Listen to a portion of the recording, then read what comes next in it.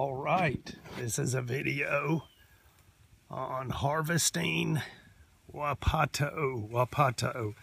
Now it's right now is just the start of when some of them will start forming a good potato.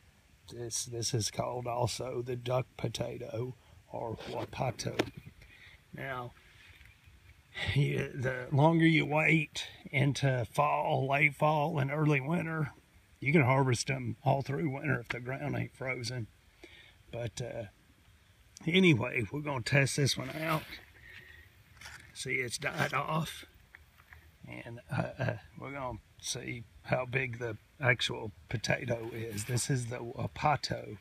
The potato is edible. The root, the tuber is edible. Uh, uh I've got another video on it that goes into detail, but I just want to do a little video of harvesting it. See if we can harvest something here.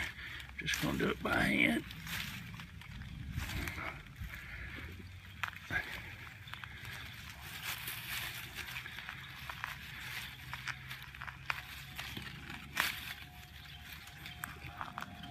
Oh, I broke the top off, but that's okay. We got us a tuber here.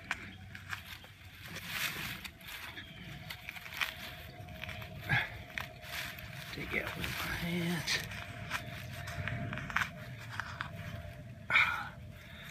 Now see, if I would have waited a month, this would be a whole lot bigger.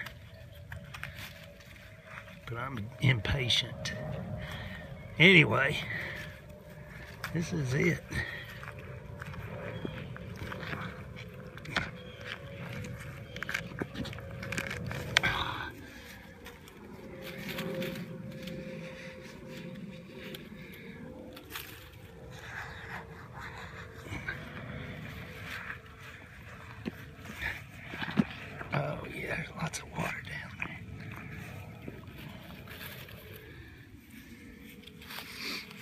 Take this thing over and rinse it off in the creek.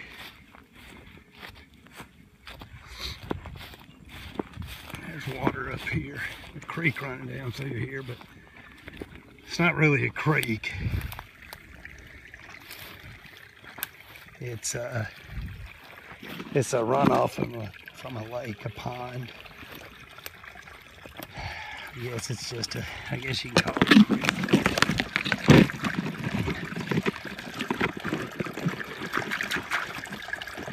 That's it.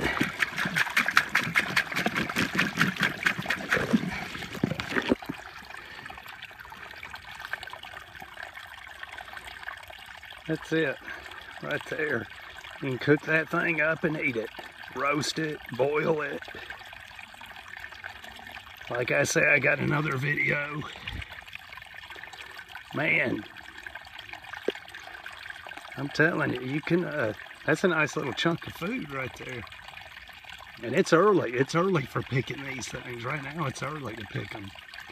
That's a nice little chunk of food. Anyway, Wapato, wild, wild duck potato or duck potato with Wapato. That's it. Take those little stringers off of it. Clean it up and roast it or boil it. And the longer you wait, the bigger they get. Man, That's a nice little chunk of food right there. Anyway, I'm not an expert. You need to consult with a local expert before you go eating anything. And this is the Wapato, the duck potato, edible. Excellent survival food. Excellent survival food. It grows near water, swampiness, wetness. That's where it grows. I got another video on it. Check that out. It goes into detail on it. Anyway, dig it up, cook it up, and we'll see you on the next one.